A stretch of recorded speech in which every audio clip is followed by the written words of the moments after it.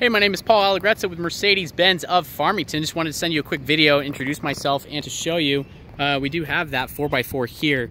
Uh, this one is a standard roof 3500 4x4 cargo van. Um, it's got a cargo partition on the inside, which is actually removable. Um, and it, like I said, it's a 3500, so it has those dual rear wheels in the back.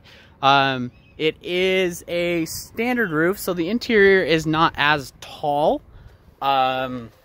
If you're short like me, then you can stand up on the inside. Uh, but if you're any taller than 5'5", you might hit your head. Um, these are really, really good options for something like if you wanted to turn it into a camper, maybe a pop top, something of the sort.